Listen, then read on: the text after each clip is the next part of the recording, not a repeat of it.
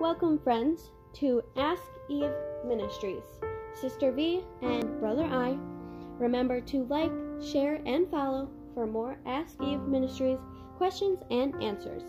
Today we will be answering the question How do Bible prophecies confirm its divine inspiration?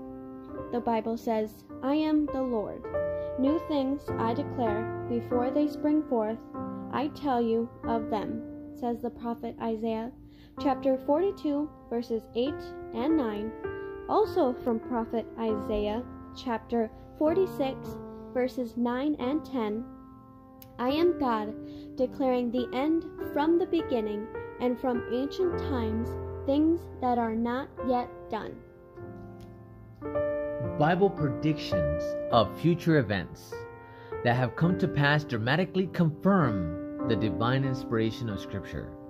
These are just a few examples of fulfilled Bible prophecy.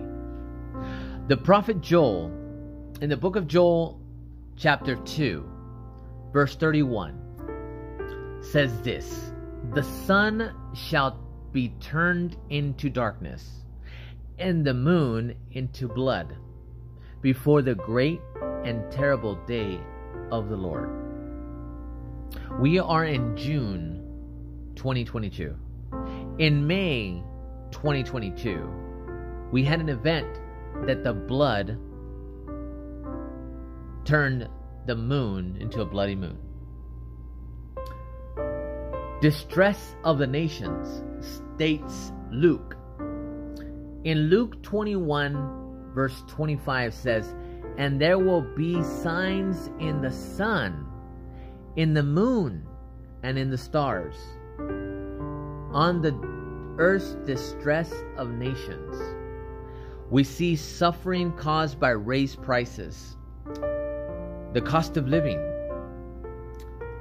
When it becomes more and more difficult to secure even the bare necessities of life, gas prices.